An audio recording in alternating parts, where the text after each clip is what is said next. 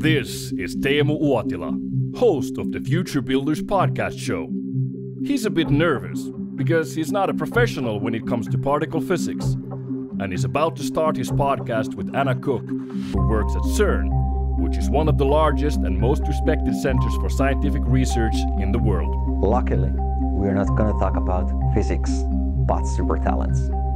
Anna is Deputy Head of Talent Acquisition at CERN. Together with her, we'll be finding out what does it take to be super talented in the future?